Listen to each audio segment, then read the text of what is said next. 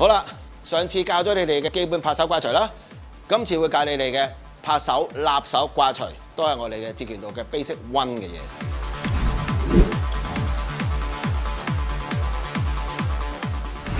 好嗱，大家好啊！咁我哋上集講咗個拍手掛捶啦，咁而家第二集呢，我講呢個叫拍手、立手、掛捶，係我哋截拳道裏嘅 basic 進階。